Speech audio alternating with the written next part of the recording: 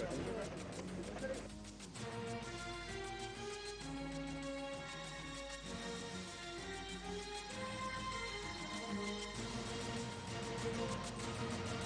back.